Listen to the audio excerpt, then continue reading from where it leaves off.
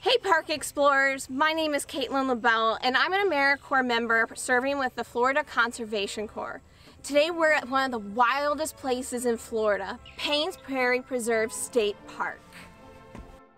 Just outside Gainesville, Paynes Prairie is a nature lover's dream. The park covers 21,000 acres. That's over half the size of Miami. And there are lots of places to explore here, like shady forests, soggy wetlands, and wide open grasslands.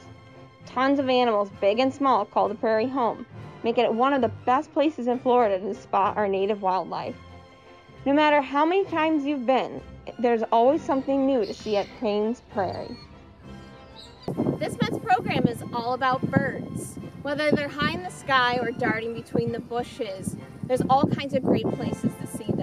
There are almost 300 different species of birds that you can find within Paynes Prairie. Let's go look for some.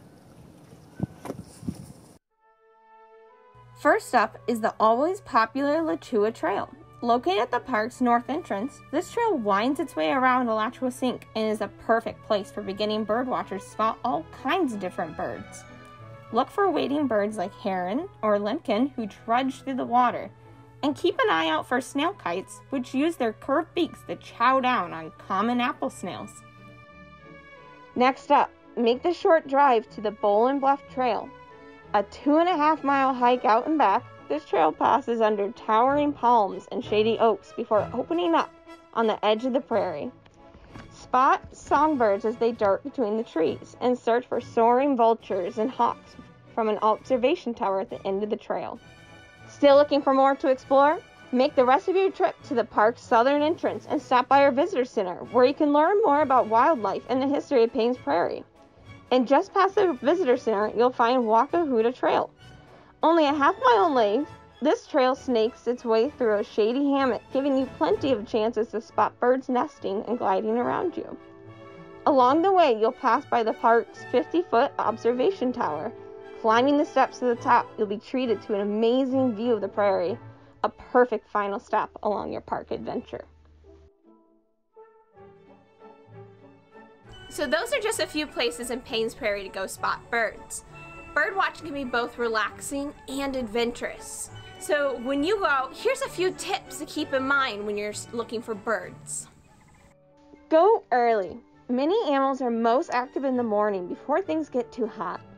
Going early would not only help you spot more birds, but all kinds of wildlife. Bring binoculars. Birds in flight or up in trees can be hard to see when you're stuck on the ground. Binoculars can help you get a much better view and you can see even more details like the colors of their feathers or the shape of their beaks. Stay safe. You will have to do some hiking if you want to see as many birds as you can. Anytime you're exploring outdoors, you should be sure to bring lots of water, park map, and sturdy shoes.